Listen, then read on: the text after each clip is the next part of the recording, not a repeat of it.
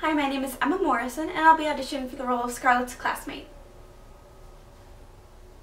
I saw that. Huh? What? That's Brad, and between you and me, he's definitely worth making out with. Making out with? You really got this new girl thing down. You really don't know what making out is? Of course. I mean, I think so. You're talking about kissing, right? Yeah, let's go with that. I see I'm definitely gonna have to teach you a few things. Class and look for you at lunch to introduce you to some of my other friends. Okay.